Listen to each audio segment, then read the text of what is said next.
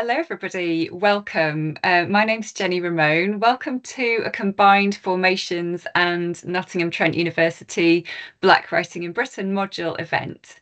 Today, I'm delighted to be able to introduce you to two inspiring guest speakers, Professor Gus John and Yolanda Lear. I'll introduce them briefly and then I'll hand over their presentations. And at the end, we'll have plenty of time for questions and answers and some discussion. First, I'm really happy to be able to introduce Professor Gus John to you today. Um, as well as being one of the co founders of the Communities Empowerment Network, Gus is also a writer, an education campaigner, a consultant, a lecturer, and a researcher. He's worked extensively in educational policy, management, and international development. He is a public speaker and a media commentator. He works internationally as an executive coach and a management and social investment consultant. He's also a frequent contributor to The Guardian. You may well have read some of his articles there on subjects including the Windrush, universities, education, racism in UK institutions, and about Britain's relationship with the Caribbean. He's been a prominent figure in the history and ongoing um, Black British education, schooling, uh, publishing, and bookselling contexts. And he's worked in a number of universities, including the University of Strathclyde in Glasgow and the University of London and Coventry University as well. He is joined by important new activist, poet, and writer Yolanda Lear, who he mentors. Yolanda Lear is a writer whose book, Journey to the Undefeated Mind, and her website and the organization that she runs aims to empower people through the use of creative art, media, music, and sport. And you might also find on her website and through her organization literacy, motivational videos, podcasts, and workshops. And she's particularly engaged in supporting people who are uh, battling mental health issues. I'll hand over now to Professor Gus John for an inspiring morning of discussion. Thank you very much and welcome. Uh, thank you, Jenni. Good morning, everybody. Um, I've, called this session Black Writing in Britain, Finding Your Voice and Using It. Um, finding your voice is something that my dear late friend and colleague Jayne Cortez uh, spoke and wrote about a lot, and I think it is it is uh, uh, apposite for for this particular session. So wh why me? Why why am I at NTU and uh, disturbing your ears this morning? Um, I've had a relationship with NTU as an institution for uh, very many years in different capacities. But this time I'm here because I came across a chapter written by Jenni in 2020 titled Black Writing in Britain Going Back to Move Forward. And that theme of going back to move forward is one that we in Black Britain um, uh, uh, uh, subscribe to a lot in the sense that we believe it is important to understand uh, how the freedoms we now enjoy were won by the struggles of people before us. Important to understand how our past informs our present and why we need to have regard to both the past and the present in order to forge a better future. So going back to move forward, I think is a very, a very important uh, uh, way of looking at uh, Black writing in Britain. Um, that reson resonated with me and the work I do with some young Black people, including uh, young writers. And, and Jenni has already uh, introduced my colleague, uh, Yolanda Lear. I mentor them not because I know anything about creative writing, or have written except in the capacity of a researcher, social analyst, and newspaper columnist. But I do so because I have an interest in what I call being in the world and how people of any ethnicity in any country and in any age define and make sense of the world and give expression to that. I reached out to Jenni to thank her for her work and see why I was thanking her. I told her of my engagement in decoloniality since I was in a primary school in a tiny village in the island of Grenada, a village of 200 people, um, and how that informed the work I did in conjunction with children of the African diaspora in Oxford in the middle 1960s, when, as a student of theology there, I started the first supplementary school in Cowley in East, in East Oxford. How the Black supplementary movement we built across Britain and over the ensuing decade ensuing decades, really, um, to build, we built that in order to correct the damage the schooling system was doing to Black children, both by commission and by omission.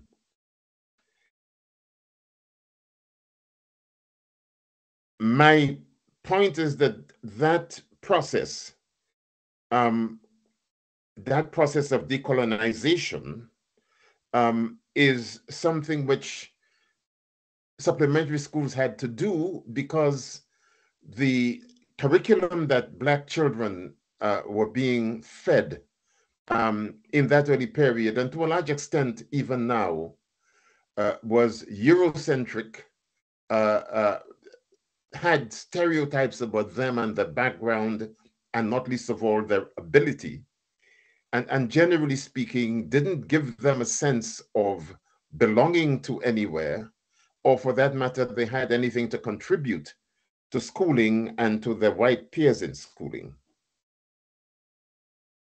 So my engagement with all of that was informed and enhanced largely by my active engagement with a man called John La Rose and New Beacon Books, a publishing house and book selling venture that he founded with his partner Sarah White in 1966.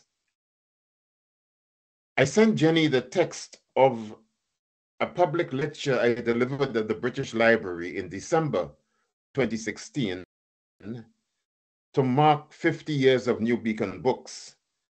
And I informed her that I was one of the organizers of the International Book Fair of Radical Black and Third World Books, which ran from 1982 when C.L.R. James delivered the opening lecture to 1995. And I'm sure you, you all know of C.L.R. James. Um, his was one of the earliest uh, uh, novels or, or, books written by um, a, a, Black person that I read um, Minty Alley. And if you haven't read it yet, you would be rewarded for doing so. On the basis of all that, Jenni perhaps read that I might have something relevant to share with you today.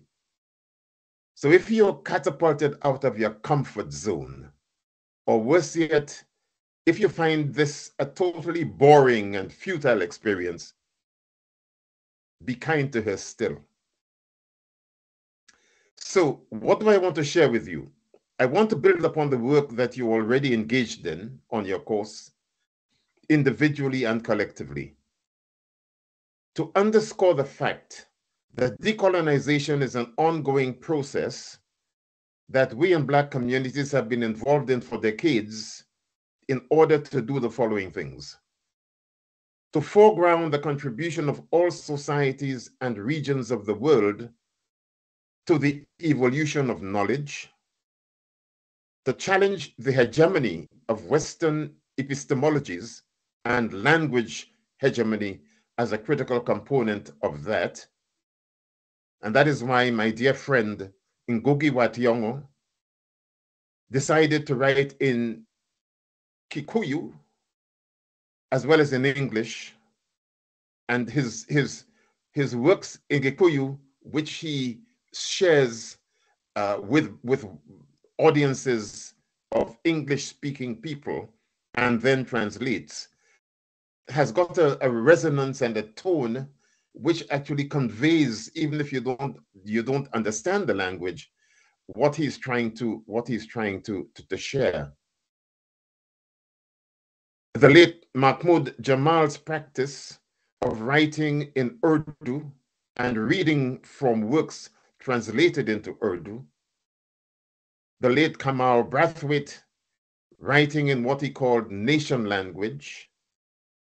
Linton Kwesi Johnson, who may be more familiar with to most of you, and Benjamin Zephaniah similarly, plus a number of other writers such as Ama Ata Aidoo, Micere Mugo, Lorna Goodison, Jean Binta Breeze, who passed away not so long ago, Wole Soyinka. All of those people were regular attendees and contributors indeed to the International Book Fair of Radical Black and Third World Books and the accompanying Book Fair Festival. And finally, to humanize the society and to assist Black and global majority children born or raised in Britain in developing a sense of belonging in their own skin and in their own cultural, spiritual, and, and religious traditions. Some 18 months ago, myself and four other people, including Professor Patricia Rodney, the widow of Dr. Walter Rodney, most of you, I hope, would know of how Europe underdeveloped Africa, his seminal work. Rodney was assassinated by the regime of Forbes Burnham in his native Guyana in 19, June 1980. We, the people on the, on, on, on the slide here, established what we call the University of Repair. It's a virtual platform principally, although we run courses and one-off sessions in communities up and down the land.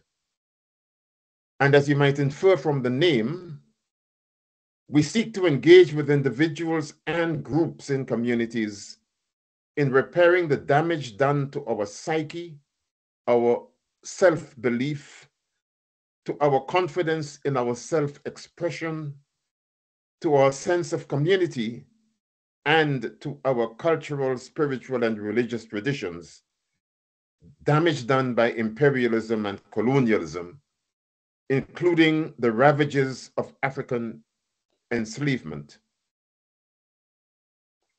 So, who, who, who am I?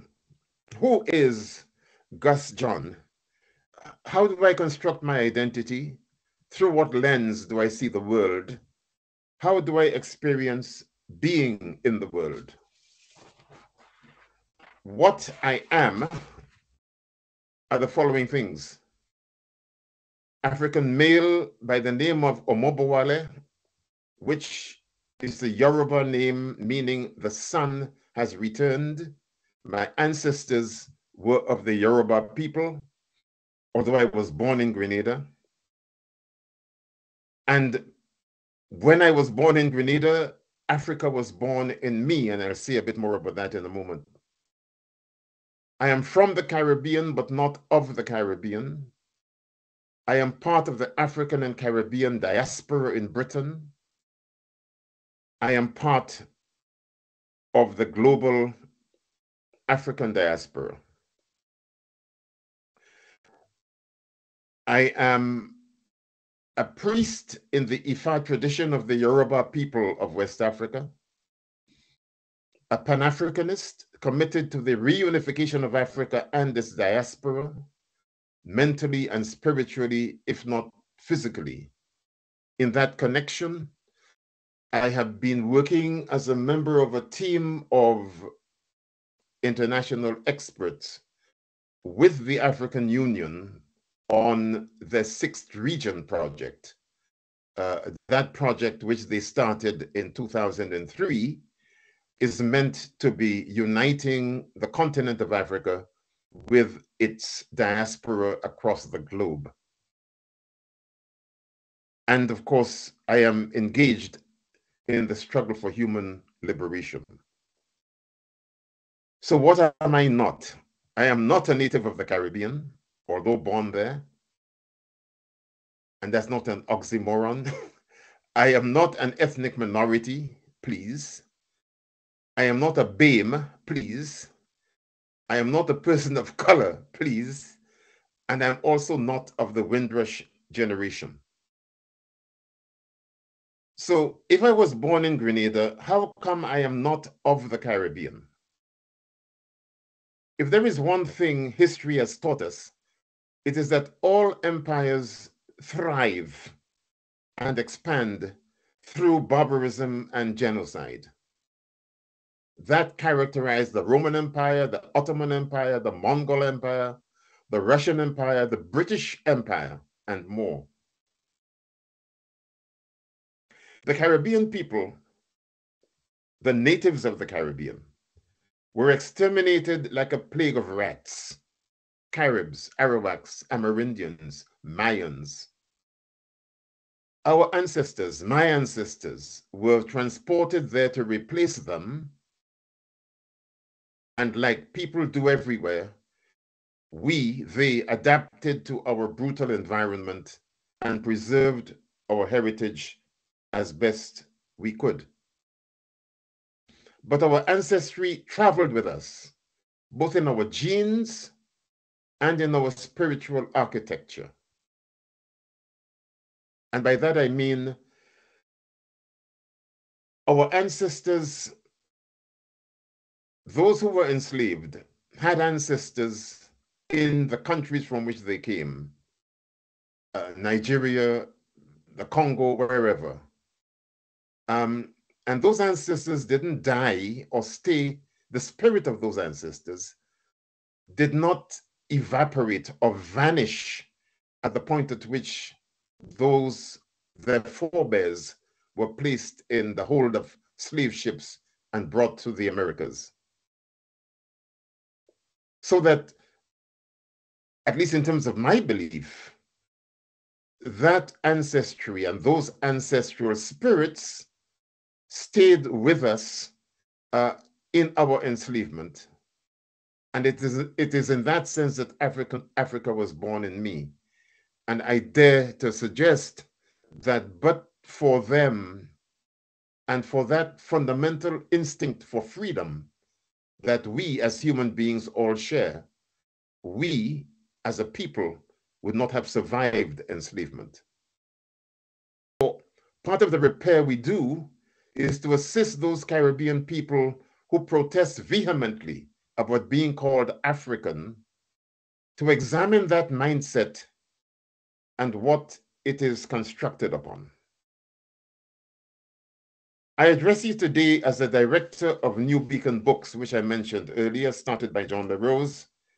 John was my mentor, and his home in Albert Road in Finsbury Park and the New Beacon Bookshop, a short distance from his home, were effectively my university. Before I met John and enjoyed the privilege of sitting at his feet to learn and to unlearn, my university education had simply reinforced the British colonial and Eurocentric education I had received in Grenada and Trinidad. Growing up in those places, and I was dispatched to my aunt in Trinidad when my mother left me to come and join my father and older brother in London in 1960. When I was left there and when I grew up in those two places, I had precious little exposure to literature in English written by Caribbean authors. And talking about left behind, let me just digress for a moment. You are no doubt aware of that Windrush Monument in Waterloo Station, which was placed there in June of last year on Windrush Day. The statue, which depicts a Caribbean couple arriving in London carrying suitcases and accompanied by a little girl. For me, this epitomizes the falsehood that is the Windrush narrative. Those who came typically arrived much later after parents had found accommodation and jobs and could send money home so that their children could join them. Between 1971 and 1973, as a research social worker in Manchester, for example, I worked with a caseload of 26 Caribbean families, all of whom were experiencing acute problems associated with the trauma young children were suffering as a result of being uprooted from those whom they regarded as their real parents to come and join their biological parents with whom they had no bond or effective relationship of any sort. So the notion that the Windrush and, and those who came on it were parents and young children is falsifying the history of the emigration from the Caribbean to, to, to, to this place. I've been associated with New Beacon Books and the Caribbean Artists Movement since 1966. That experience enables me to help others understand the critical role publishers such as New Beacon, Bogle L'Ouverture Publications, and Allison and Busby, the critical role they played in building what I call the Black resistance movement in Britain, as well as playing a pivotal role in the much narrower agenda to promote multicultural education and later anti-racist education in schools, teacher training, further education, and higher education. I left Trinidad and Grenada for Britain in 1964. Throughout my 15 years of schooling, prior to that, I had read Gerald Durrell, Thomas Hardy, Charles Dickens, William Wordsworth, William Shakespeare, Edgar Allan Poe, W.E. Johns, and I love Biggles, Jane Austen, Enid Blyton, E.M. Forster, Shelley, Keats, Tennyson, and many more in the so-called canon of English literature. But I could count on one hand literally, only on one hand, the Caribbean writers I had read, George Lamming, Sylvia Wynter, C.L.R. James, Edgar Mittelholzer, and V.S. Naipaul. And talking about Naipaul, he did the least amongst those a lot in terms of decolonization but that's for another conversation. Every single one of them left the Caribbean for Britain or North America in order to pursue their career,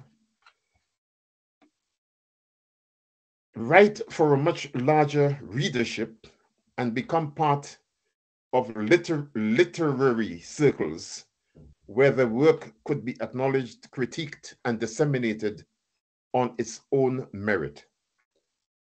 Their numbers grew in Britain and in North America, but they remained in the wilderness, so to say, for a number of reasons. In the 1960s and 70s, we depended heavily on the Heinemann Writers series. And if you're not familiar with those, you should look it up because they played a major role in that space at that time. We depended on Heinemann Writers series to find literature written by Black writers from the African continent and the African diaspora. It is that expansive void that visionaries such as Margaret Busby of Allison and Busby and John La Rose of New Beacon Books sought to fill. The significance of New Beacon Books and the Caribbean artist movement, both established in 1966, is what is that while mainstream publishers were turning down the work of Black writers, arguing that there was not a market for that sort of thing, it was to independent Black publishers such as New Beacon and Bogle L'Ouverture that many of those authors turned to have their work published and made available both to the growing African diaspora in Britain, but as importantly, to the white British population. It was important that children in schools knew that Black people could write and had written books, not just literature. Uh, some of the the, the, the, the, the, the biggest names in mathematics, in engineering, in science uh, were African people. The role those authors played and those publishers played in providing literature for the multicultural education curriculum, for special access courses, for the further and higher education curriculum, and for the growing supplementary education movement cannot be overstated. To a large extent, they paved the way for the likes of Virago, Women's Press, and many other publishers of that generation. And much later, for the likes of Karia Press, Karnak Books, and currently Peepal Tree Books. New Beacon, Bogle and others were pioneers in a number of respects. They were pioneers in community education and in promoting non-formal and informal education. They pioneered decolonization and the challenge to hegemonic Western epistemologies, which shaped the production, validation, and dissemination of knowledge. And in this regard, let me say this. I was one of those activists and indeed uh, uh, uh, social analysts who protested vehemently against the likes of Hans Eysenck, uh, Charles Murray, uh, Cyril Burt. Um, these were eugenicists who were all arguing what I called biological racism. They were indulging in biological racism in that they were expounding theories which said that Black people were inferior in intelligence to white people and that that is why their underachievement in education and schooling particularly uh, was, was, was, was, was as it was. Believe it or not, that kind of garbage was being taught in teacher education settings. Teacher training colleges would use that sort of literature and teachers were being effectively encouraged to believe that they shouldn't have high expectations of Black children because genetically they were inferior in intelligence. So, part of the repair we do in the University of Repair is to assist those Caribbean people who protest vehemently about calling themselves African to examine that mindset and that history that I have just told you about. But New Beacon and Bogle L'Ouverture also demystified writing and literature and underscored the symbiotic relationship between culture and politics, and especially the role of culture in political resistance to oppression, deracination, and erasure. Above all, they positioned literature and writers at the heart of, of communities and the self-organization. Imagine, for example, being able to gather as a school student or a college student or youths from a youth club in, in, in, in, in London, being able to gather in New Beacon Bookshop or at Bogle L'Ouverture and hear Sam Selvon, Kamau Brathwaite, Andrew Salkey, Sylvia Wynter, Lorna, Lorna Goodison, Merle Collins, Valerie Bloom, Grace Nichols, and many others read and discuss their work. A life changing experience for many young people and a once in a lifetime experience for many.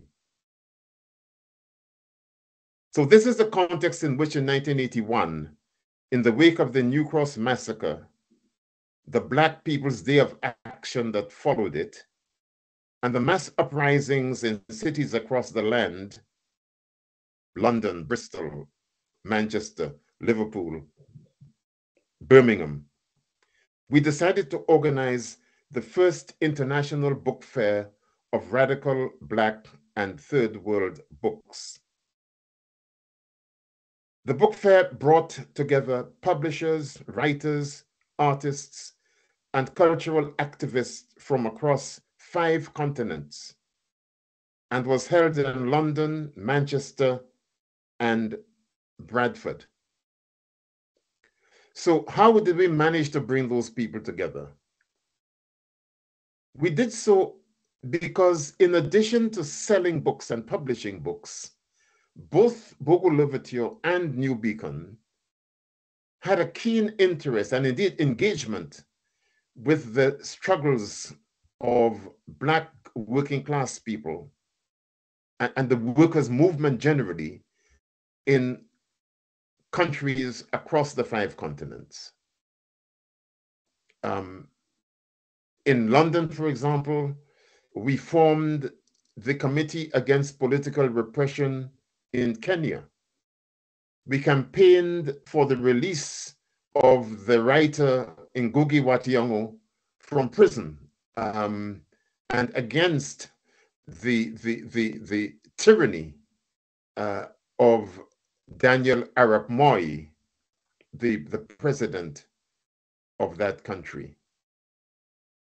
We campaigned in relation to the workers' movement in the Caribbean and the way in which capital was still expecting the descendants of enslaved Africans to work on plantations under conditions that were not very dissimilar from what they had during enslavement.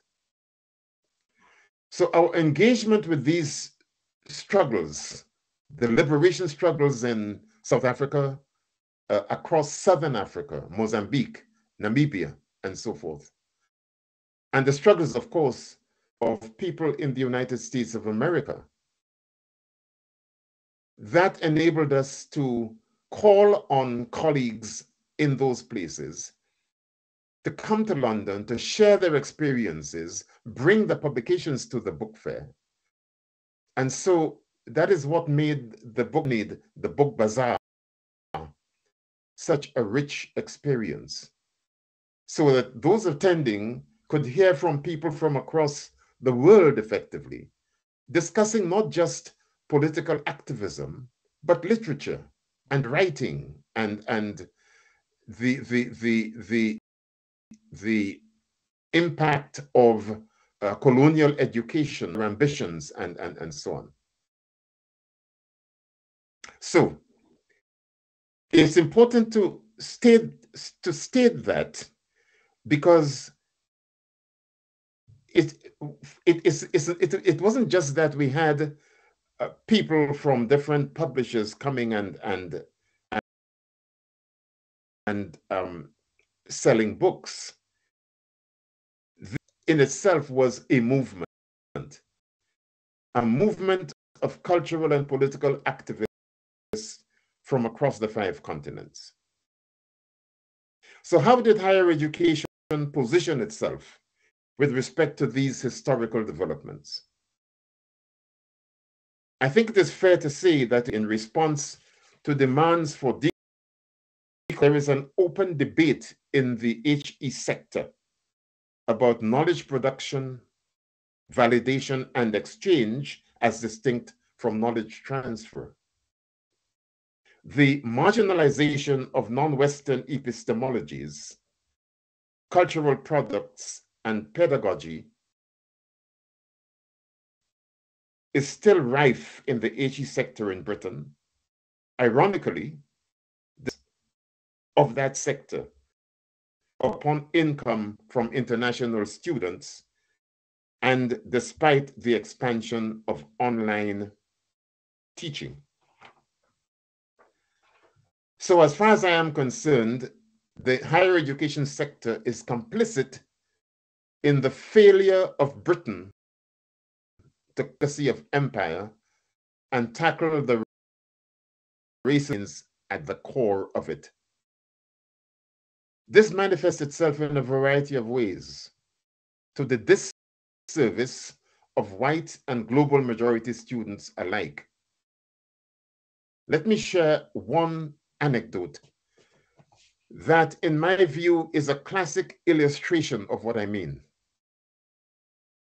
While contributing to Steve McQueen's Small Axe series a couple of years ago, and some of you would have seen those films, I was interviewed by an enormously talented Black graduate with whom I shared notes about my journey with New Beacon Books, etc. And then I chanced to ask her what she studied at university. And she told me she read English literature. I then asked her quite innocently, and in no way meaning it to be a trick question, do you mean English literature or literature in English? She looked very puzzled, and after, after a pause, she asked me, What's the difference? So here was a Black woman, Gree, from a prestigious Russell Group institution asking me to explain that difference, which I did. On further probing, I discovered that the only books outside the English canon she had studied on her entire course was Adichie's Son and Achebe's trilogy. Things fall apart, no, no longer at ease, Arrow of God. This is why I say, my friends, there is a huge amount of repairing to be done. And not just in relation to African people, the African diaspora, particularly, and the damage done to us by colonialism and imperialism, a damage which, which continues through neocolonialism, I might add. But for white people, there needs to be that repair. Because you see, the way in which the British dealt with our presence from the beginning was just so to suggest that somehow we were an aberration. The norm is whiteness. Britishness equals right whiteness. And therefore, white people need do to do nothing about themselves. And, and that is why that's the context in which that very strange practice called racism awareness training came about and became an industry between 1970, let's see, and and and and and, and 1995. So, as we say in the University of Repair, we need to tackle the, we need to repair the mindsets. And we do so only by taking effective measures to prevent repetition of harm and of hurt. no one, but no one, should be expected to efface that on which they frame their identity and the sense of belonging, belonging to a world in which everyone has worth, in which everyone has the right to give full expression to their creativity and creative imagination. No one should, should have to face all of that in order to be validated and to be given a mark of excellence.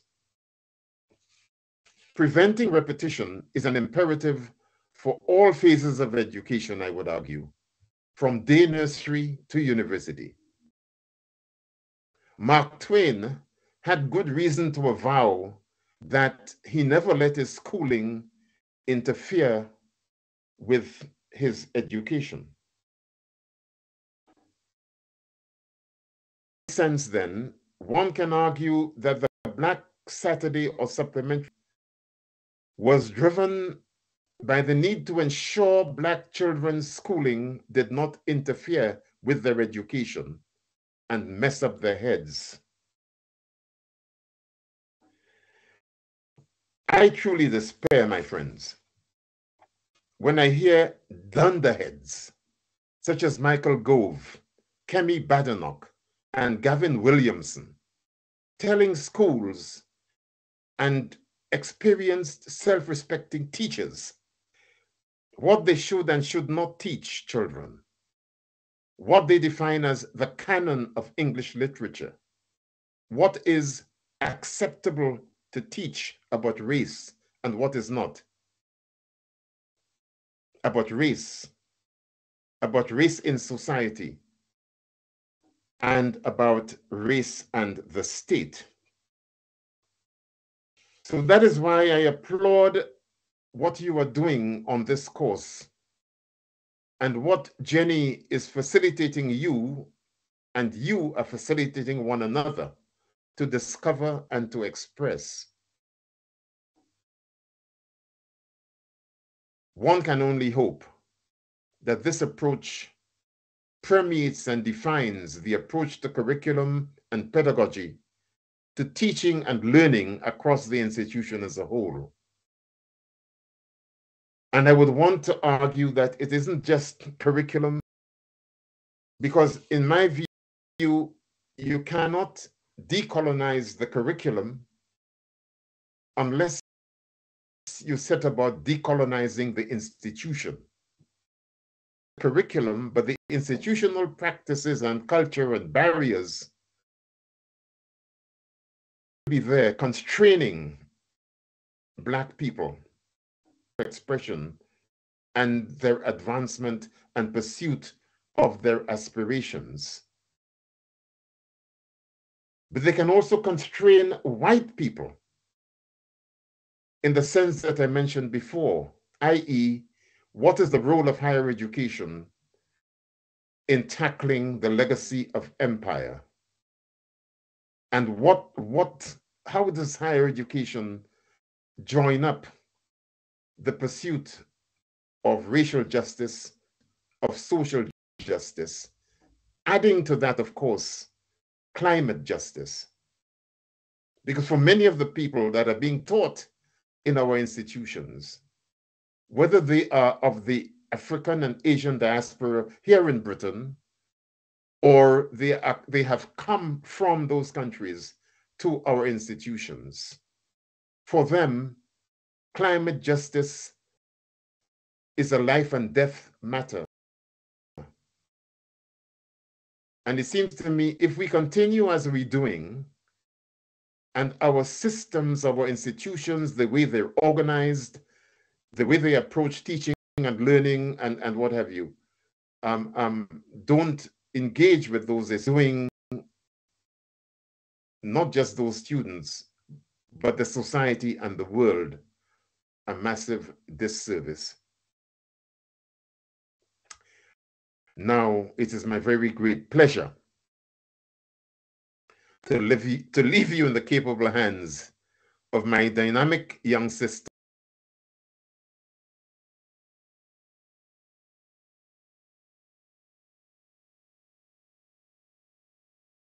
hope it was the same for everyone else on the call. Um, I'm literally just going to be sharing some a few poems, spoken word pieces written. Um, as mentioned, I do a lot of activism work, both within the mental health side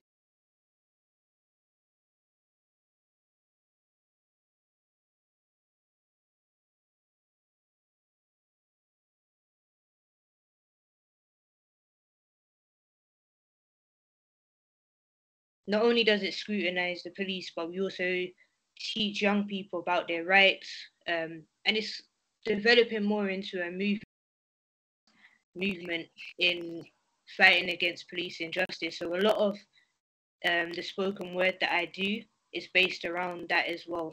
So just give you an extra bit of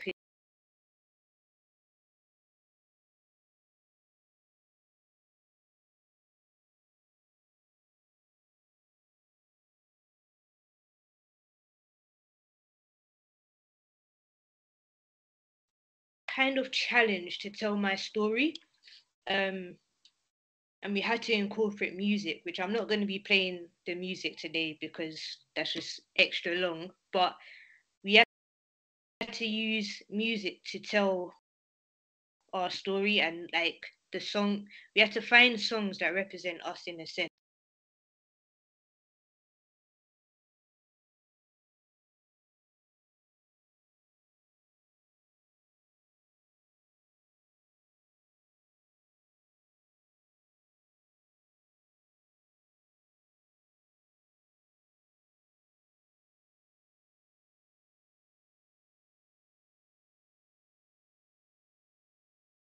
And it's kind of, as I said, my story and how I got into activism basically.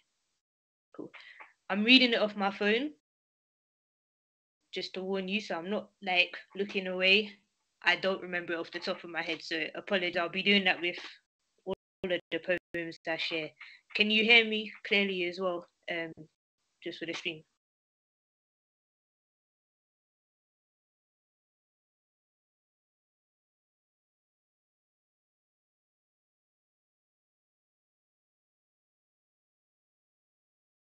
I was never alone. I was told that Jesus loves me and he has the whole world in his hands. My grandma would sing these songs on the regular, though she therefore wasn't the best singer. It was always the message that counts. And the song that stuck out the most was This Little Light of Mine. I'm going to let it shine. Though back then, I didn't know what that meant. Though the seed had already been planted, and I guess it took for life to water it. Growing up, I was told I had an old soul. I was called the prayer warrior, in tune with the spiritual. I guess that's why I'm in love with music because they said that music is the language of the soul. And in my family's household, that was definitely so. From the silk, my ears were constantly blessed. So I guess it makes sense why I think most of this modern music is trash. Just a fun fact. Remember that song that my grandma would sing? He has the whole American spiritual song. Yet I was only told the Western version.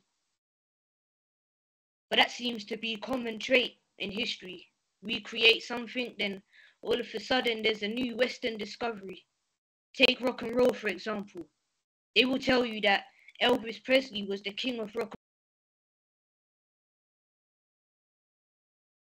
of rock, a known founder, founder of rock and roll. We don't talk about her. It's a name that not many people know. Is it because she's black? Is it because she's a sister?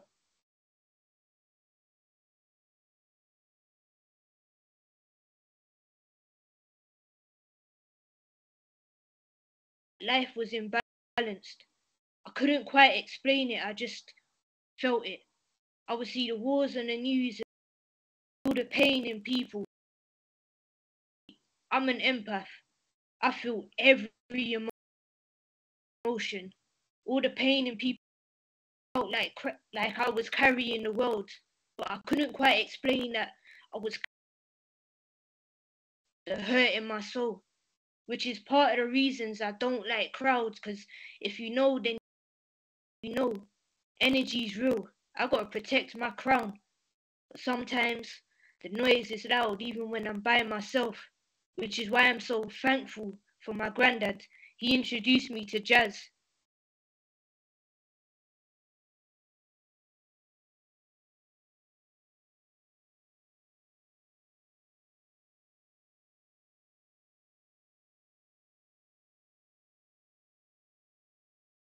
of a voiceless community, but jazz gave them a voice. Jazz gave them a voice when silenced by society. Mr. Masekela wrote a song called Soweto Blues, speaking on the Soweto uprisings in 1976. Around 20,000 children protesting the decision in South Africa to make Afrikaans studied in schools.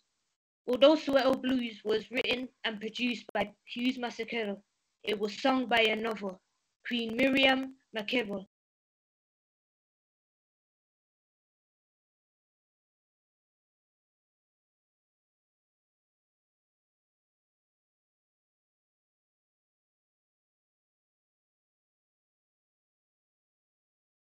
Being introduced to them by my granddad and my mum, it opened my eyes to exactly what words can do.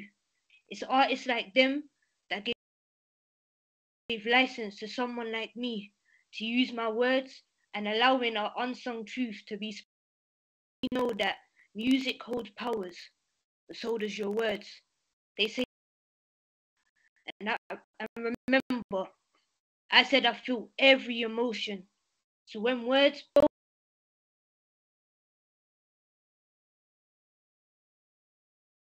inside me, everything I was writing was a reflection of my depression.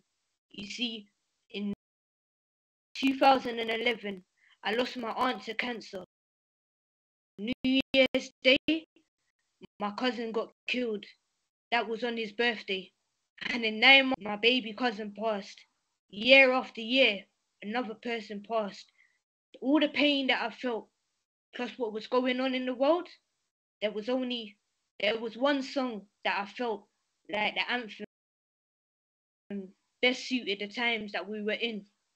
It's a song by a Jamaican artist named Egyptian. He speaks on how, the times you were in are serious times. Now I want to take, yeah, I want you to take a hold of the fact that that song was written in 2006. You see, at the time, street violence, young black kings were constantly losing their lives. We would hear about the state murders in America. I was aware of the hardships of the world.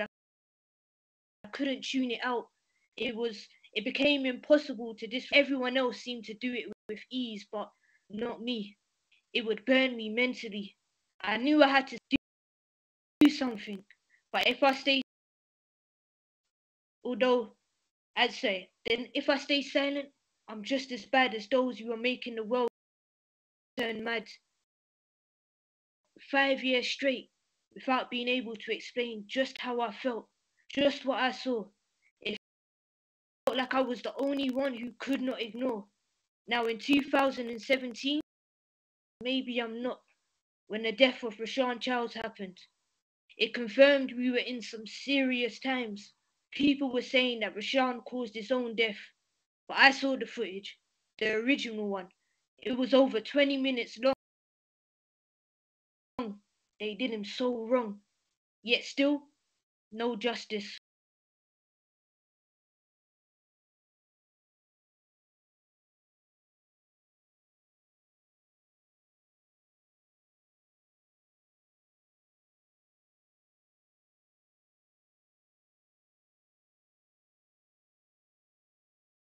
myself, dig deep in my traumas and uproot them. That part of my journey was so emotional, so painful, so hard, but yet I came out feeling so blessed, so thankful, so humbled by life, a sense of purpose. I knew how to use my voice. I found a workplace that understood how I felt, allowed me to express all my pain, frustrations I was feeling about the world like I had none. And when the pandemic hit, a lockdown, say, they gave me a voice when I felt like I had none. And when the world was forced to stand still when the pandemic removed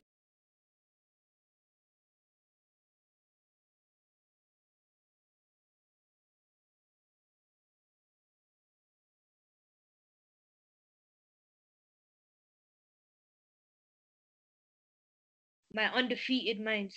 With this, I felt power to change the world, to bring back humanity, integrity, love, and honor, to respect one another. Through this, we can begin to change the world. But to do this, we need to focus on our simple blessings in life. We tend to overcomplicate it. Our, uh, say, our experience with everyone people's life like it's our own so much that we forget to live our own. So the message I want to give you all is love the life that you live and live the life that you love. That's the end of that poem. Straight into the other one. Um, which one should I share? I'm gonna do this one. So this one is based on the Child Q incident. I'm sure most of you are aware of the Child Q incident. I'm not going to go into it because it is quite triggering. Um,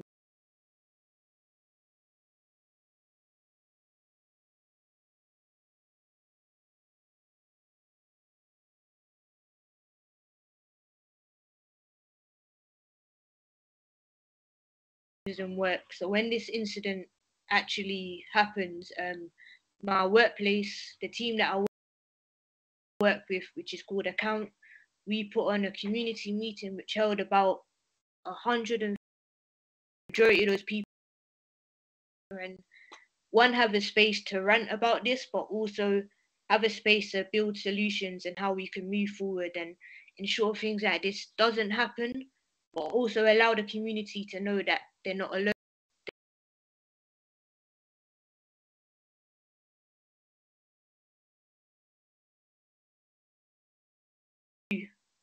We stand with you. The Met Police came out and gave an apology upon your because violation after violation, you constantly failed to safeguard our children, leaving them with people.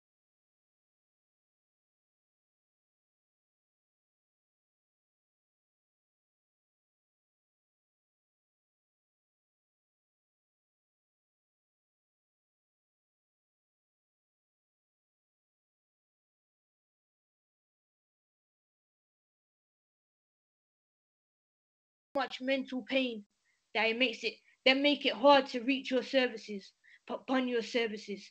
My people, it's our time because we've got so much holistic remedies and love being the main ingredients that goes in absolutely everything. See, this is the century of action, the generation of no holding back because we're tired of begging the system to see us. Why do we even have have to ask to be treated equally? That should come naturally. But unfortunately, it's on a regular. Our children can't go to school. They ain't protected by the system. First seen as suspects rather than victims.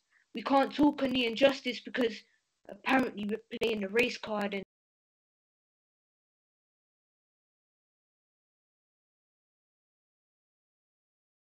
rage is overdue. That's why they over police our ends now. But can't keep but we can't keep giving them what they expect we got to come different with our next steps. Intergenerational community flex. And like I said, love has got to be at the core of it. Not for money or fame, trends or gains, because this is our children, our elders, our people. It's time that we're all seen as equal. One voice when we stand up. We are the people. That's the end of that one. It was a short one. Um, I'm gonna do so I can share a few more. So I'm gonna do another one. I wrote this one. I think I was like 16 or 17.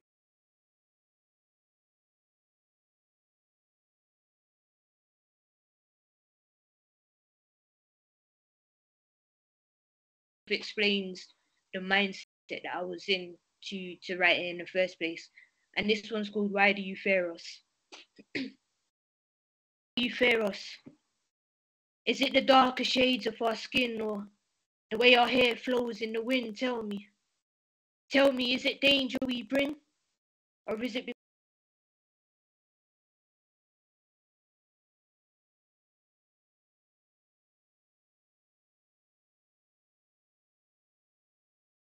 and you're afraid that one day we might raise a revolution or are you scared scared because my people can create least of our life we are taught to follow i still do not understand why your love for us can be so narrow you see when i was in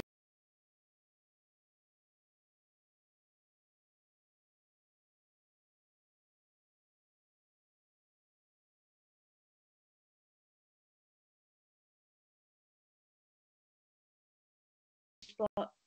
Why? Why do you fear us? Is it because of my people's ability to rise each time we try break us in our strive? It's got me asking when I, I mean, if you strip us of our colours, we are both alike, right? So do you fear us? Is it because we don't flinch when you're near us, regardless of our history? or because of our history, you think we'll switch eventually? Or is it because we can switch from Martin to Malcolm in a split second and you won't even see it coming? Is that why you fear us?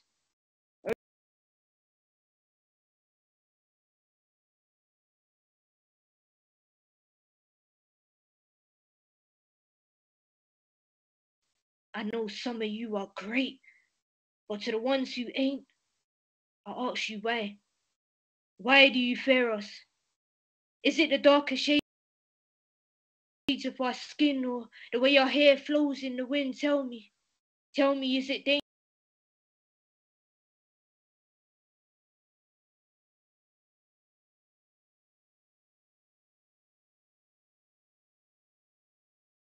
Those rings, blings, and materialistic things, and soon they will see that they are kings, queens, and they won't stand for none of these things. Is that why you fear us? Or is it because my people pose a knowledge that you do not understand and you're afraid that one day we might raise a revolution? Or are you scared? Scared because my people can create leaders, even though most of our life we are taught to follow. I still do not understand why your love for us can be so narrow. Or is it because of the darker shades of our skin or the way our hair flows in the wind? Tell me, tell me, is it danger we bring? I got to question the men in a group of more than three. I'm no longer surprised when they circle the criminal you see, and I see free. And all, all they want is just to be free. I mean, all we want is just to be free, just to be seen, recognized, and rewarded. In fact, we just want peace. Just leave us be. But in 2023, I'm still asking why. Why do you fear us? Near us. Just because we're loud doesn't mean we're terrorists. We're expressive with our words because it comes from the heart. So why? Why do you fear us? Is it because of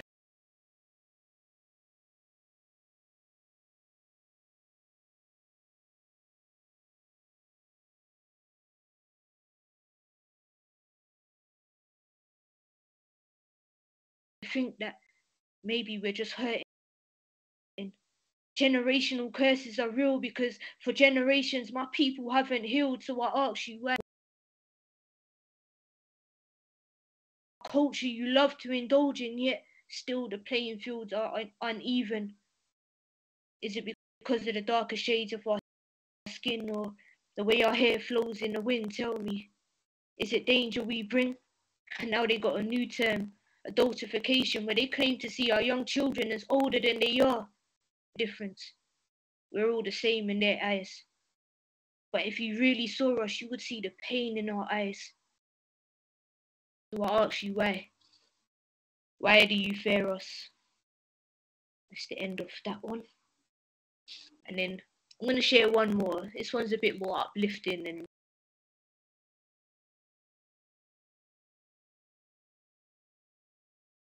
and wrote this one um, to give a little bit history behind it. I wrote this for Black History Month, but for Black History Month where I brought quite a few community leaders, individuals that are doing a lot of amazing things within the community and we just basically celebrated them so we had an exhibition of their pictures and um, a little explanation of what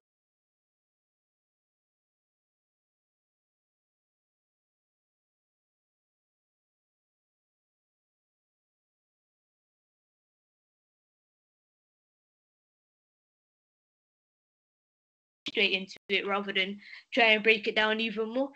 Cool. Um, as I said, it's called lifting up royalty. I stand in the presence of greatness, blessed by royalty.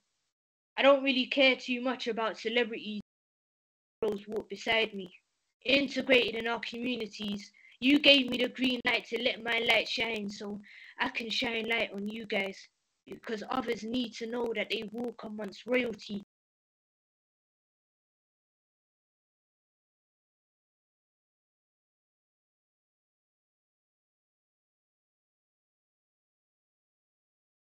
put down the gloves because done with the fight. Emotions bubbling up. You want to scream or cry?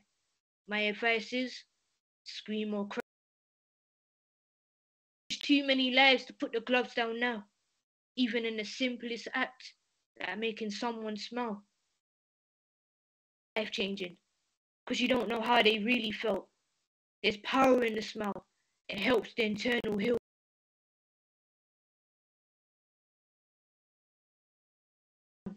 A race. This is your path. Go at your pace. If you need to rest, then rest. Reflect, recuperate, then refresh. Refresh your mind because how can you guide others if your mind is a. But when you're ready to go, then get up and go.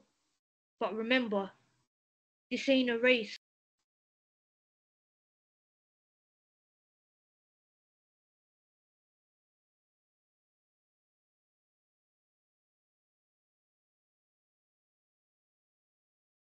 You ain't got nothing to be a hero because even soldiers need nurses, cooks, cleaners, and helpers.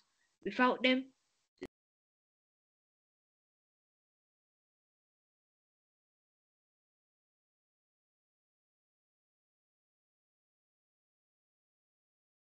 don't know how many lives you've gone on to change indirectly because you don't know how many lives that one will go on to change.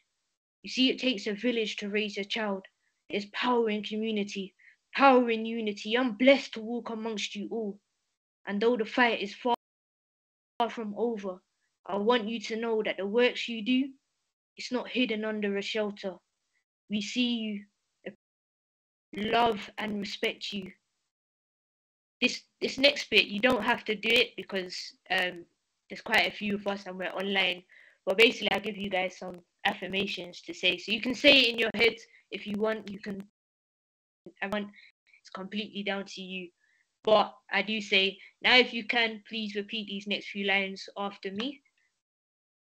I am blessed. I am beautiful.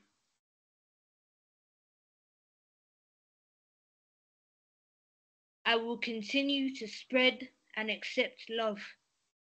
I will continue to let my light shine. Will continue to show others that they can shine their light. And I will continue to be my authentic self because I am royalty. Uh, before I end, remember this poem.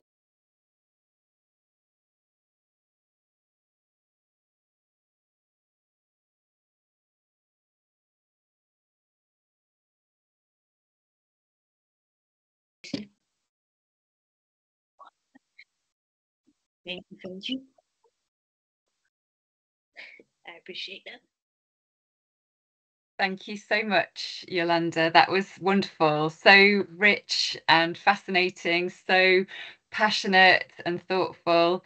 Um, in a few seconds, um, I hope we'll have lots of questions for Yolanda from the students who are present, but I thought I might start while they're thinking of formulating a question with a first question for you. Um, and it's in response to your first poem. And I was so I was constantly inspired by all of the different references that you brought to that poem. Some of it was um, political history, world history, global history. Some of it was probably family history, memories. Um, it's it was expansive and captivating, and such a rich collection of kind of sources that you brought together. So I just wanted to ask you. Um, how do you do research when you're writing a poem or what does research for your poetry mean for you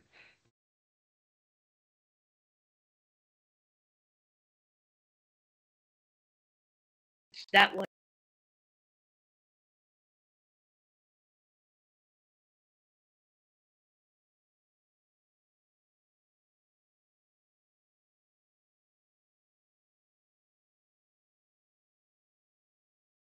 remember like some of those um, in there. I didn't remember those particular artists, but I remember the song or the album that my mum would play in, in the car going wherever we were going. So it was a, a mixture of that. And then when I found the particular songs, so like Hughes Masekela, he's got a ton of different songs that I wanted to use, but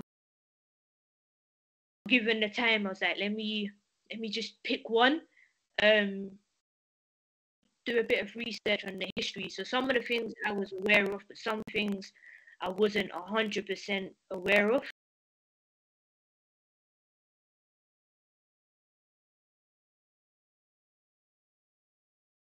Watch interviews on YouTube, uh, just getting a sense of the history and the emotion at that time as well.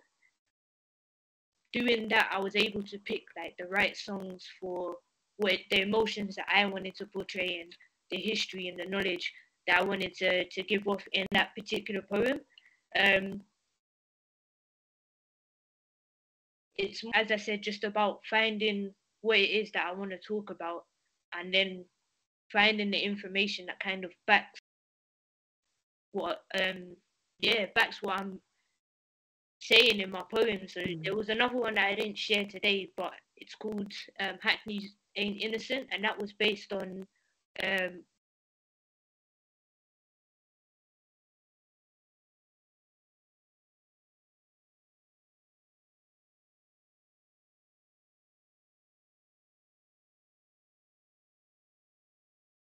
anyone really talk about what happens in the UK. And as I mentioned, that my workplace account, where currently we're going independent, but we're currently Hackney based, so everything that um, we did was focused on Hackney. So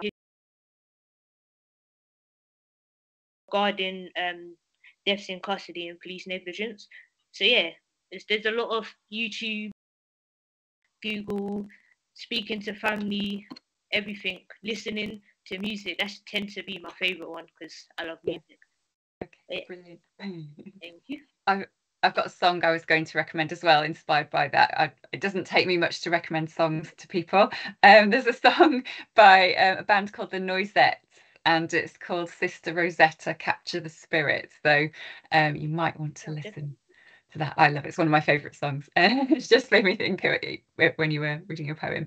Um, just one thing to kind of um, follow on from your response there. I think that's really important for, especially for students present in the session, to remember that although you deliver the poem as if it was um, your own kind of particular um, kind of uh, bi- biographical history, when you talked about doing the research, you talked about constructing the, the songs for the message that you wanted to tell.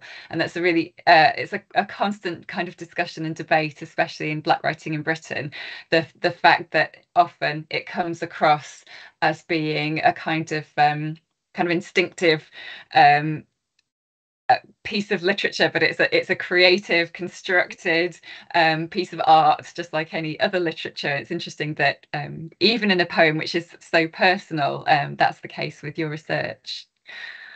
Okay, uh, the first question that we um, have for you is from Valentina, and she asks, "When did you start writing in general?" She mentions that the second poem you read, um, you wrote at the age of sixteen, and she asks whether you've always been interested in writing. Um, question. When did I, I think I was about probably about 15, 14, 15, like late 14. To be honest, I didn't always have like an interest in in writing. Um, I was a late bloomer when it actually came to to writing. So growing up, I moved around schools um, a few times, so I was a bit behind. But I had a teacher in my primary school actually who kind of saw the potential. So she would always put me aside and do like extra lessons, extra tutoring, and I somewhat developed a, a passion for writing then, but I didn't really think I was I was that good at it. So I I didn't do much with it.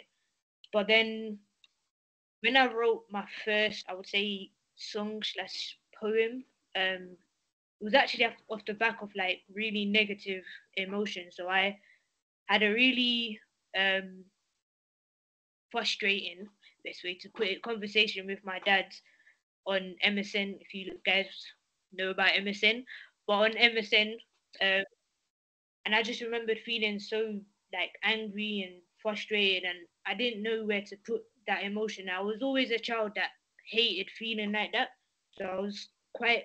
I would always seclude myself from like family. So I, I remember just going off into my bedroom and out of nowhere just a whole heap of words just came out of my mouth which all made sense um, and i thought it was amazing but I, by the time it got to me writing it i had forgotten everything.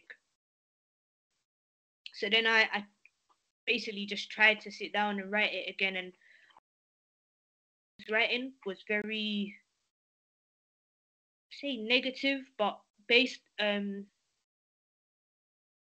stemmed from a lot of depression best way to put it. Like it wasn't it wasn't anything that i would personally release right now. So it was more just a case of getting off my my head because i didn't really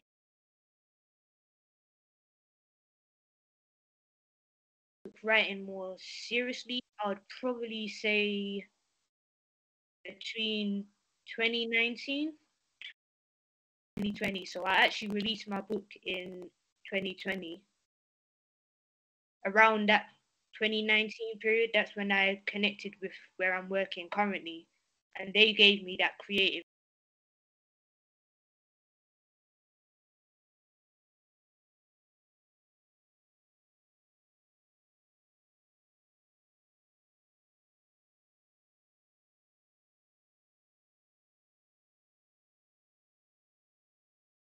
Thank you. Um, a question about your kind of practical work then from Rebecca next. Um, she asks whether the organisation that you work for has a, a wider national base and whether or not are there any ways for people to get involved. Perhaps she would like to get involved or some of the other students here would like to get involved. We're kind of in a transition mode at the moment. So where we are currently, we're under an organisation called Hackney CVS um, which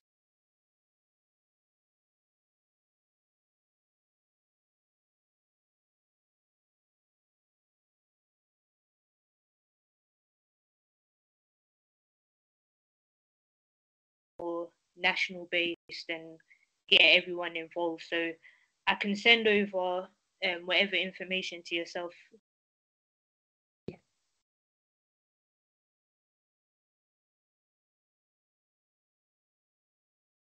and then if anyone would want to get involved, even if you want to be speakers or anything, like I'll send my email. You've got my email now, uh, Jenni. So I'll pass on that information. You can share it with everyone else and share my email. So if they are interested in getting involved, then you can connect them as well. Fantastic, thank you. Mm-hmm. Uh, Maria asked um, about two things. I'll perhaps um, I'll, I'll ask her first question first.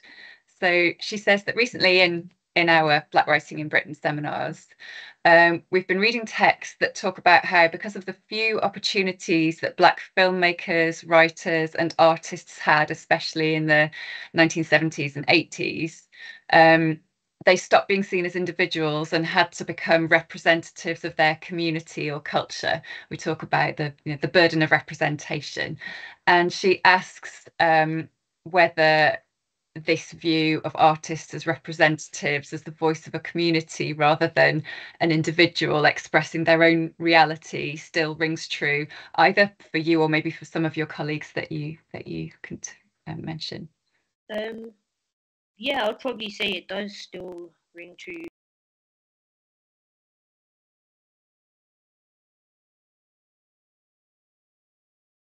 haven't got a lot that generally represent us especially in a in a good manner anyway. Um,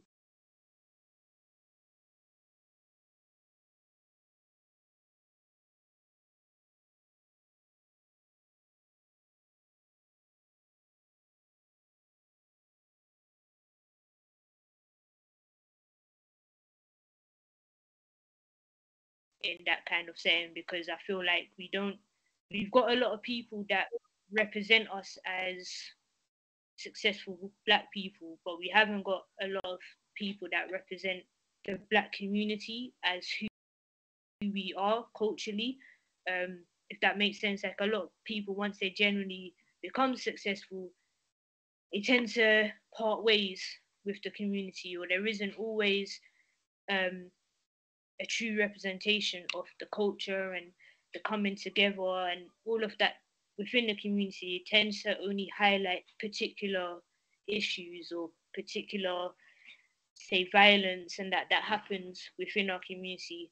So I, as i said i thrive in the opportunity to be able to be that voice and represent our community in a different way. Um, it is hard to be an individual in that space though but you know it's about how you use that space um, I always say like your voice is powerful, your words are powerful, and when you're able to utilize those things in particular, you now have a, a level of power that other people within the community don't necessarily have. So how you use it is always vital.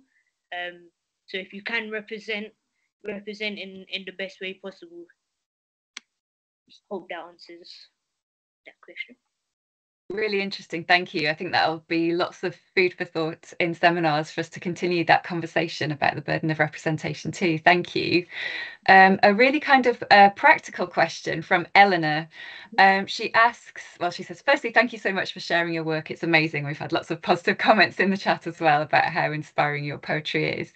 She asks, um, do you categorize your work um, by subject or topic when you publish it or organize it in another way? Do you deliberately place the poems in a specific order, or do you read them aloud in performance in a specific order? And um, maybe you could talk about the process. Um, I'm probably the worst person to answer that question because I write it on my phone and I just leave it there. Like, um, I don't do a lot with my my poetry or my writing. That is something that I am trying to do a lot more um, in terms of that, for instance, the order I'll perform it, it depends on, I guess, the room I'm in or the, the subject of, of the day. Um, as you notice, I try to leave the more uplifting and empowering one to towards the end because it's a heavy, I don't want to say burden, but it's it's a heavy, it's it's a lot of weight to carry, um, and it's some of the things that to start with. So I, I tried to end on a more positive note. Um, that's usually how I, I, like to lead it. Even with like my poems, if it is um, a heavy hitting subject, I try to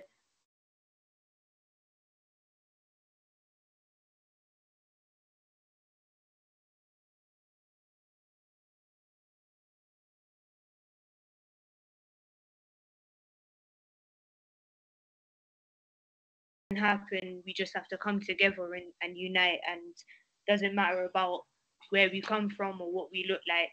It's all about us just kind of coming together and utilizing our skill sets as one. So I think that's the main thing that I do think about. But in terms of publishing and everything else, that's something I need to get better at and actually do stuff with my poems because they're just sitting on my phone at the moment. Yeah.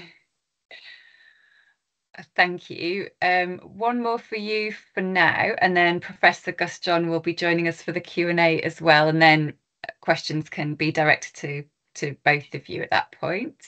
Um, so this question is from Pablo, and he asks about the process of writing your poems and whether it's the same for all of them. For instance, do you write in one burst, or do you write over a period of days or weeks or or months? What's your writing process? Um, it's nine times out of ten, it's usually one burst. Um, like as of recently, I've tend to write for the occasion. So these ones I've I've shared are, are ones that's already been on my phone. But um, as I mentioned, the first one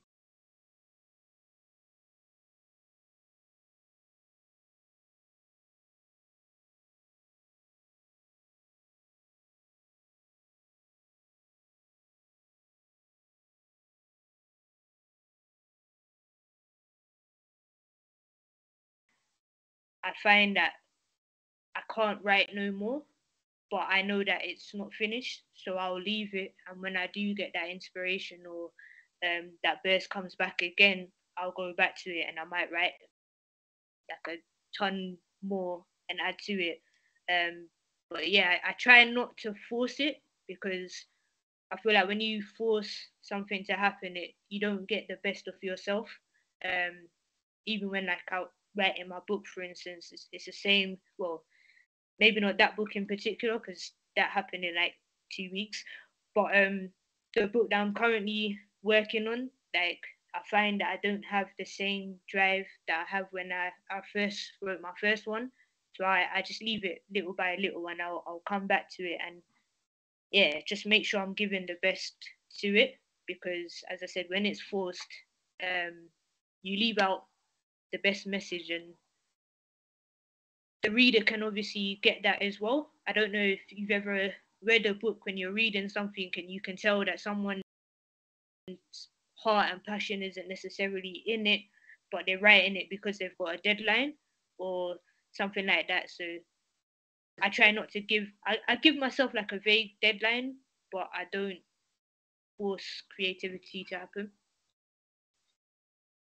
Yeah, dead deadlines. A very interesting question. I'm sure lots of the students will be thinking about deadlines, and I'm always thinking about deadlines. And I agree with you completely. But work deadlines, uni deadlines. Yeah. Make sure you. I'm not going to tell you don't but yeah, anything outside of uni, let the creativity just flow. Don't force it that um, leads on nicely to a question that I wanted to ask Gus John while others are thinking of questions for him.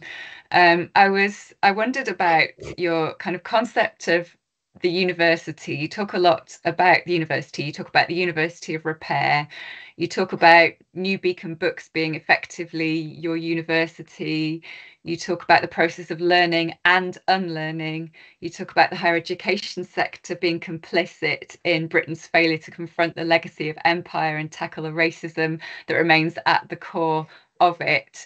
And I wondered if you could say what you think the university should do? What should be the function of university? Yeah, it's a, a massive question, but perhaps you can respond to it. Um, it, it's a it's a quite important question, Jenni. Um, uh, but, but first of all, let me let, let me let me tell you what what worries me intensely. Um, uh, I know that universities operate within a cultural space, an educational space, a political space indeed. Uh, but it seems to me that the more they become aligned with political culture as generated by or defined by government, um, they've lost the plot. Um, institutions of higher learning must necessarily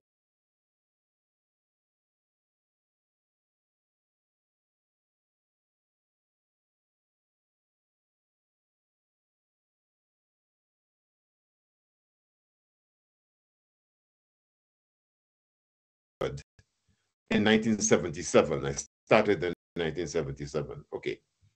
Um, and before that, of course, I'd been a student and so on. Um, what I have witnessed over those decades is the extent to which, rather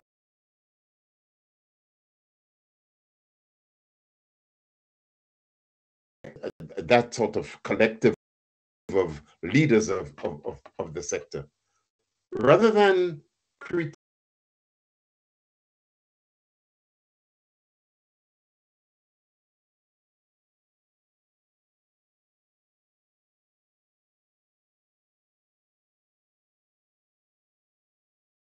and all that kind of stuff, as Britain is. Um, the whole sector seems to have embraced neoliberalism with a passion, right? Now, some people might say there's nothing, absolutely nothing wrong with that. But as far as I'm concerned, if you if you don't have a focus on the role of education in liberating people, human liberation, and liberating people.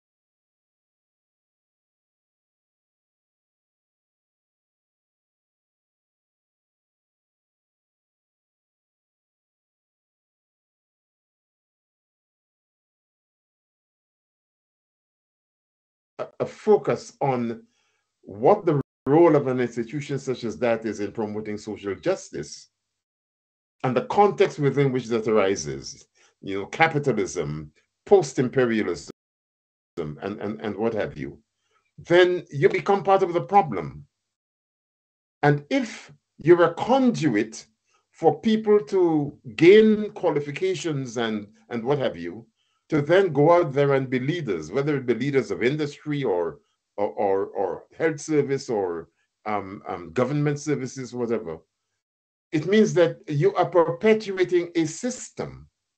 Um, I could never understand, for example, why in this millennium you have a situation where practically all of these universities have got senior leadership teams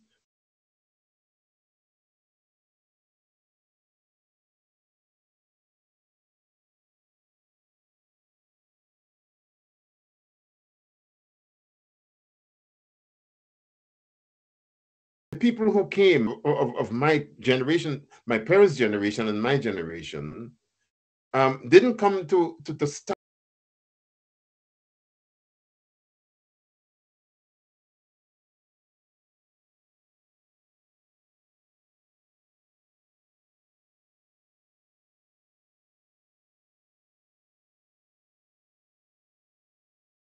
allows for people to go through the hoops and become leaders and, and magnates and what have you, without them understanding anything whatsoever about, about oppression, about gender oppression, about whatever it is. And that's part of the reason why do not have a good track record in terms of simply, well, it's not simple, but meeting the public public sector equality duty of the Equality Act 2010. This race charter, for example, that universities chase, they want bronze, they want silver, they want gold, whatever. I don't know any of them has ever achieved gold. Um, it's, it's, it's, it's interesting that so many fail to get onto the first rung of the ladder. They don't get even bronze because what's going on in the institutions is so utterly deplorable, right? So, so, so my my my point is that the sector itself has got to reset and ask questions about what is its societal function. And I, I was given a, a, a, um, a honorary doctorate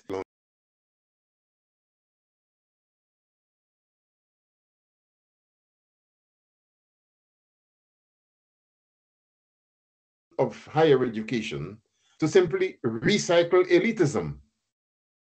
You know, that that that cannot be its function.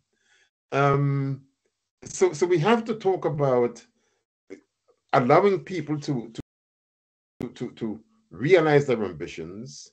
We've got to talk about building a future society and, and, and building leaders of that future society. So we, we need to know what vision do we have of those, that society? What do we want it to become? You know, we, we're not just about turning out uh, uh, uh, people who are fodder for capitalism or leaders of capitalism. Um, and, and so the, the sector worries me phenomenally. I've been involved in it for God knows five decades or whatever it is. But it, it worries me for all of those reasons. And, and it gets worse.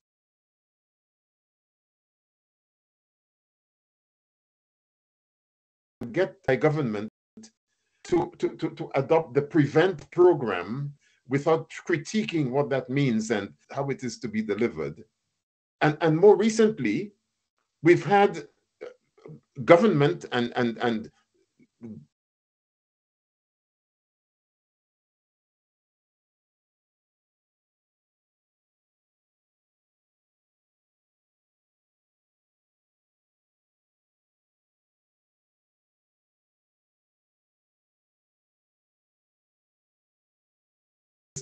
happy to say we have adopted it. Now, what the hell is that about? Um, so are the sec- is the sector not also in, interested in human rights for Palestinians? I mean, so, so you get my point. It, what I'm saying is, it it it fails to be independent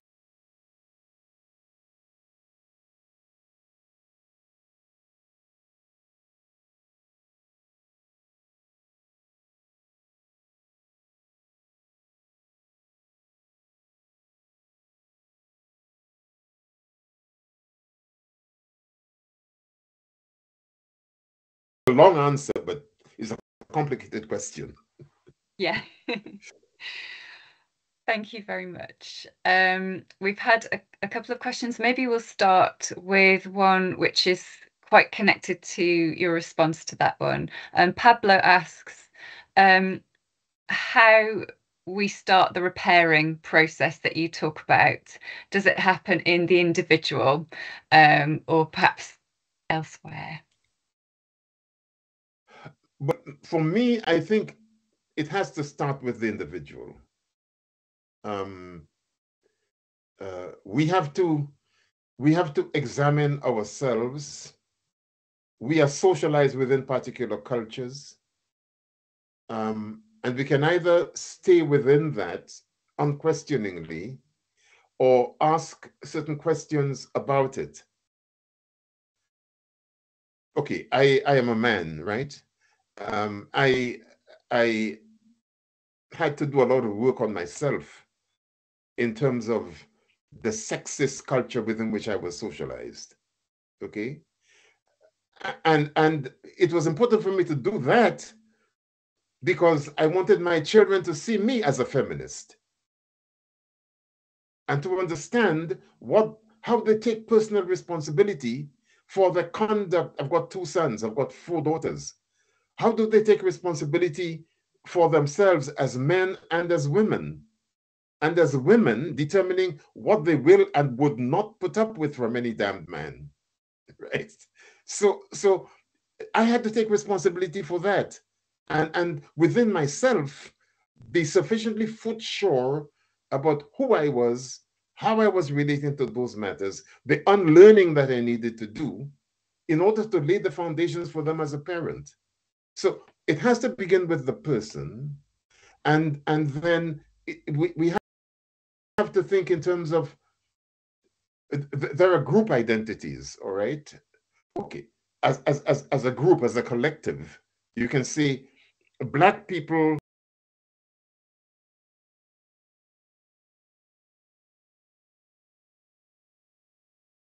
by some racist individual or group uh, irrespective of your standing or, or who you are, um, what people see is the fact that you're black.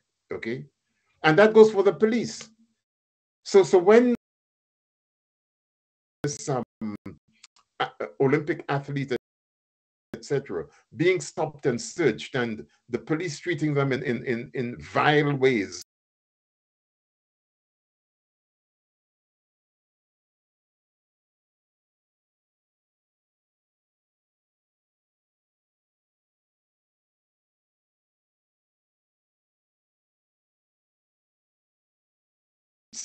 And, and going about the business, irrespective of how expensive the vehicle might look.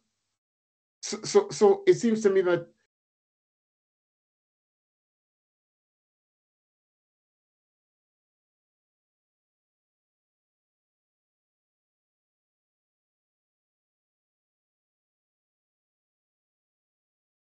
schooling we are compelled by law to send our children to, right? So one of the tasks as, as a particularly a black parent or a white parent of black children, more to the point, is to is to ensure you know how that whole system works. What is that? What is that culture like?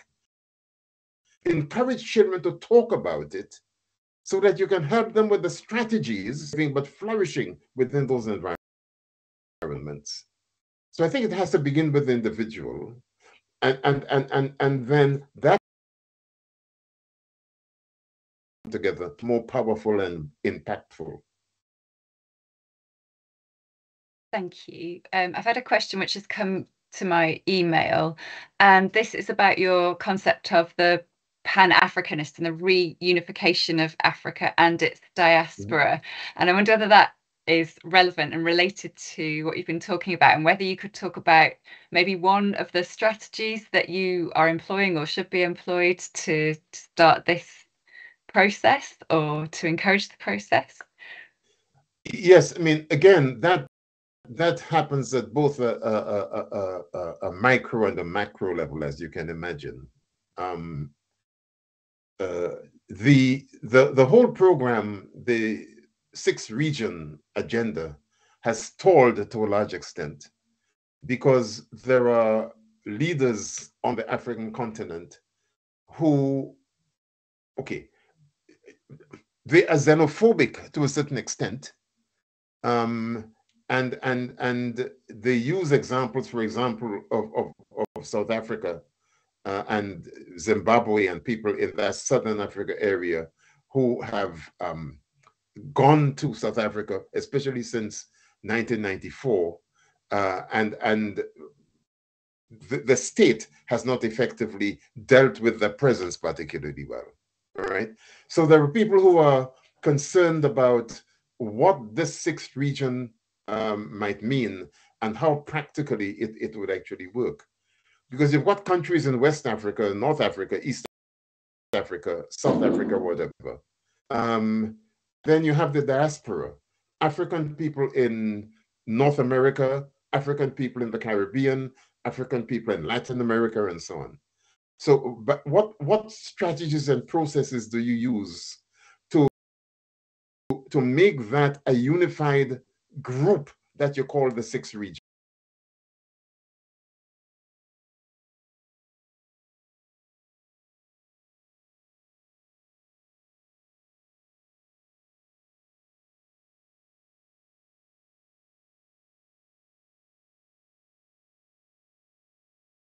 For individual countries like Jamaica, Trinidad, uh, Costa Rica, Colombia, whatever. What does it mean for the African diaspora here in Britain? And how do you begin to, to frame an agenda in a place where you are not you, you're not the majority population, like in Jamaica or wherever, as as the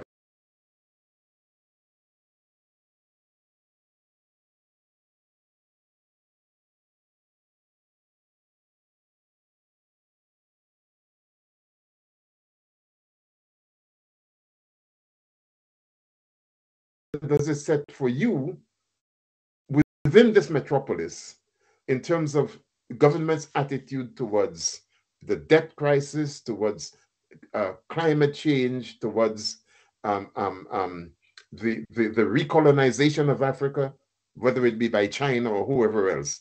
So th there are there are huge complex questions, But then at, at a more micro level, there are there are things like what kind of uh, what should I say? What sort of engagement that can there be at the level of uh,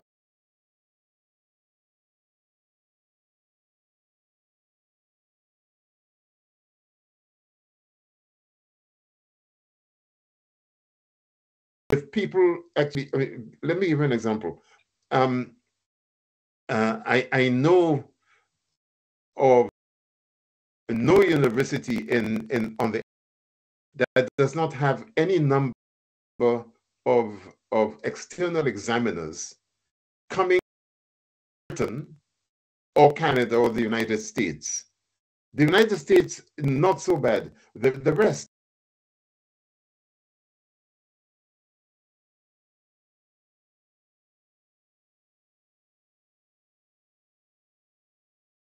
those countries coming to Britain as external examiners. Okay, so what does that what does that tell you in, in terms of the message that is actually handing out? But yet, when um, the minister of uh, whatever it is, home secretary or whoever, or indeed people like um, Sunak or, or Starmer want to do something about immigration, they talk about a point system and they want to cream off all the skilled people in those same countries to come to work here. So, so there, there, there are all kinds of contradictions within all of that. But I think to begin with, to begin with, the major, the major challenge we have is in getting people from the African diaspora, particularly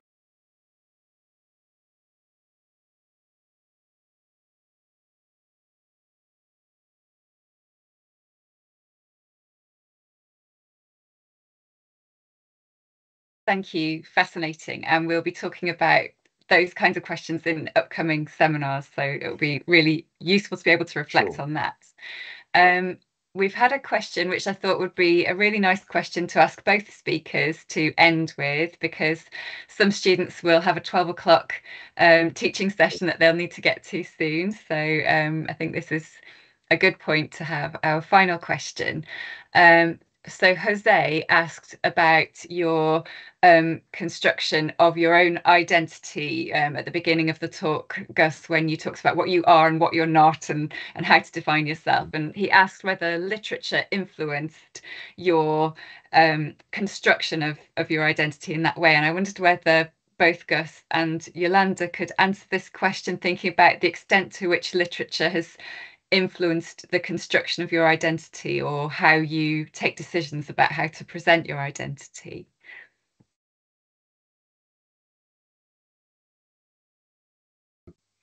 So I, I came to Britain to, to, to study theology, okay?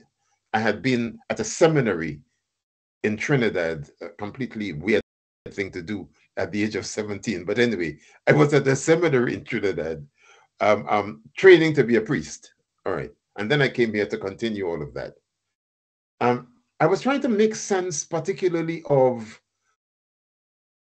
the society that I was part of in the Caribbean, in, in Grenada.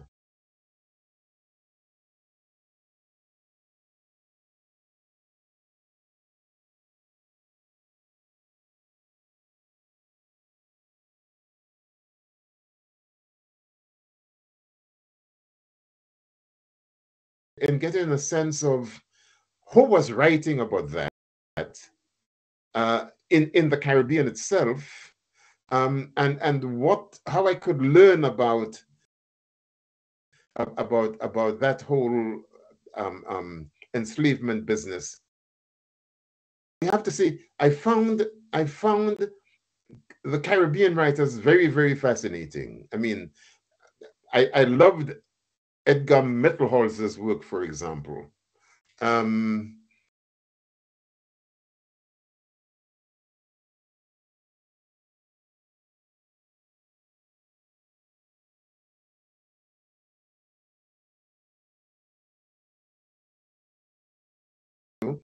so the idea that literature can, okay, in, in school, we were given, we, we were encouraged to have this very highbrow attitude towards literature, right? Um, but but but in in that setting, what what was that?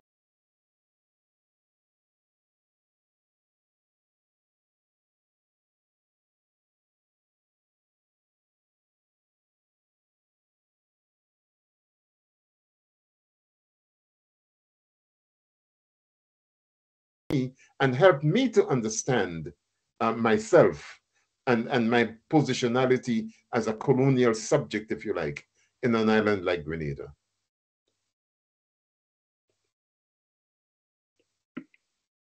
Good. Try and keep it short. Um, yeah, for myself, I think it, it took maybe the late, well, I'm only 28, but the later years of my life to realize that literature actually played a part. So in school, couldn't stand it. Um, couldn't stand school. I liked the concept of English and that, but I just I hated the concept of school basically. Um, but I always thrived in England in English. So my teacher, she basically she saw something in me that I not that I didn't see. I didn't care to um, water it and allow it to flourish. So um, when it comes to actually reading books in school, I barely read. I, like I was, I wasn't really the English head, even though I was very, very good at it. I was just never drawn to the literature that they gave us. So I didn't see the point in continuing to follow what was in front of me because I didn't see myself in any of it. Nothing reflected the community in which like um, I grew up in and the classroom that we had. So I, I was never really drawn to, but I was very good at um, reading something, give you an explanation that the teachers would never be able to give you about what I've just been able to. And my teacher was able to always, I guess, water that ability that I had, so that can kind of flourish even more. But it's it's more when we did the and I forgot. Um, we was basically studying that. I forgot what it's called, but we were studying that and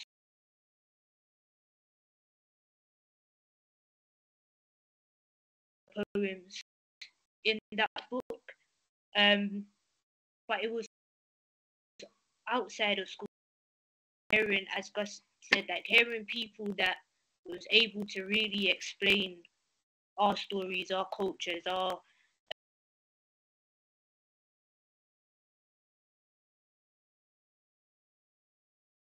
really read, always take a hold on certain songs and the lyrics within the songs that um, attracted me even more. The kind of work that I do currently and the poems I, I currently do because as I said earlier I don't see a lot of people really speaking for our community. Um, so I would say it